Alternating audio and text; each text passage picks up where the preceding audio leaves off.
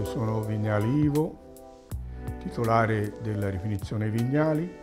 La storia della rifinizione Vignali è una storia abbastanza lunga perché ha iniziato mio padre nel 1947. Le lavorazioni che facevamo erano garzare le coperte, quelle poi adopravano per l'esercito e altre cose.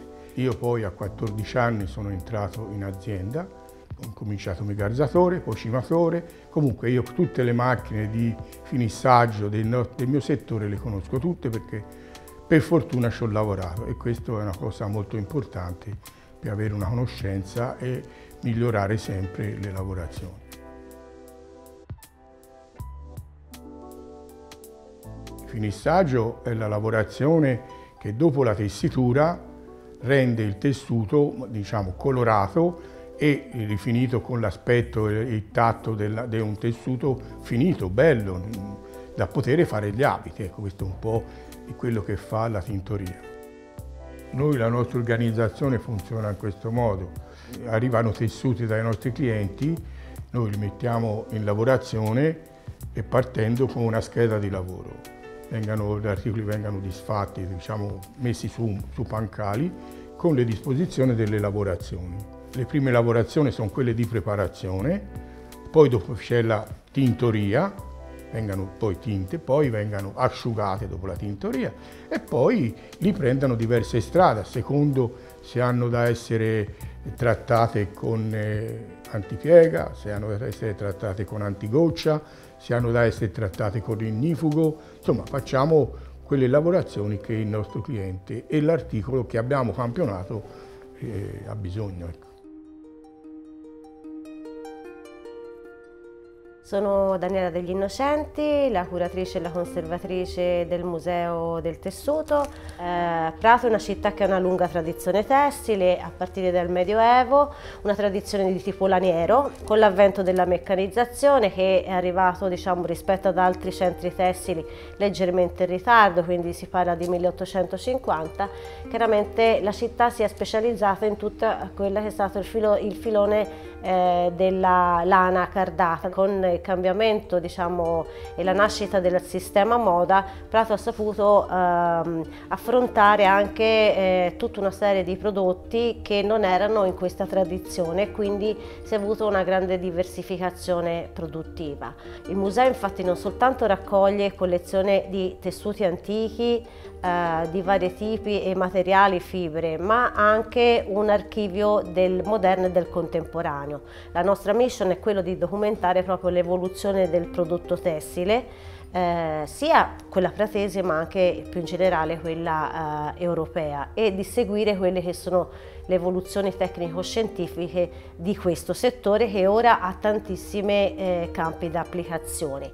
Eh, ci sono delle realtà eh, produttive che sono molto attente alla tradizione e che eh, grazie alla presenza in azienda di macchinari anche eh, che hanno diversi anni eh, sono in grado di utilizzare eh, processi che eh, nell'industria contemporanea sono ormai eh, desueti.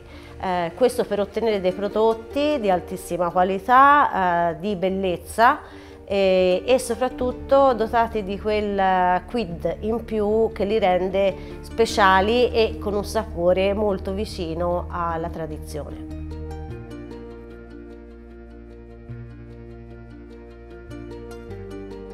Questa è una collezione di cilindri che io 30 anni fa ho acquistato in Germania in una ditta che chiudeva e quindi aveva una storia di 150 anni, quindi ho, ho avuto la fortuna di poter accedere a, questo, a questi cilindri che sono cilindri storici, tant'è vero sono tutti di bronzo, che alcuni sono marcati 1909, quindi è una collezione, io credo, unica in Europa di sicuro, ma io penso sia anche unica al mondo, oserei dire.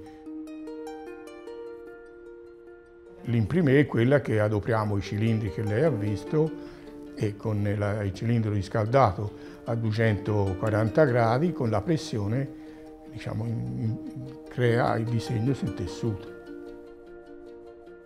Dalle collezioni vi ho scelto dei velluti eh, che chiaramente sono connotate da materiali e da disegni particolarmente eh, elaborati, complessi ma anche ricchi.